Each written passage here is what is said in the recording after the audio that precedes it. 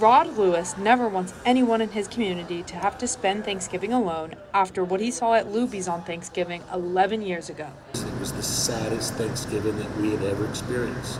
Seeing all the different people that were there by themselves, alone. The next Thanksgiving, Lewis made a change. The next year, I said, let's open the house up any of those people that want to come and have Thanksgiving with us.